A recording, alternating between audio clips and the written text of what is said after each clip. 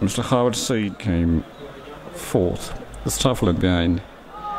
Here we go. Winners, uh, they're off and they're racing. Pakistan Derby 23 has just begun.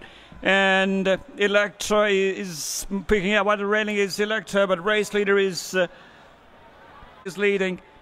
So Songbird and now is Big Beat, which has joined them as well. What the railing is Big Beat at his second position. So Songbird, Big Beat, Tufan, Lucky Sona.